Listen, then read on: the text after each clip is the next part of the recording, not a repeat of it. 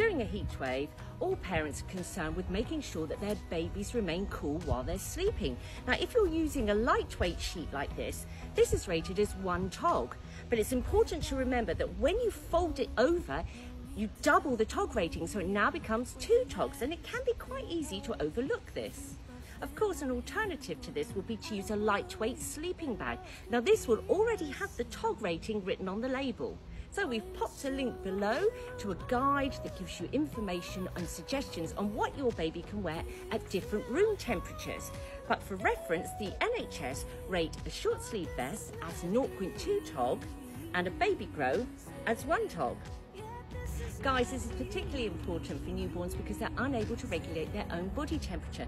So make sure you check on them regularly and adjust their clothing if you think they're overheating.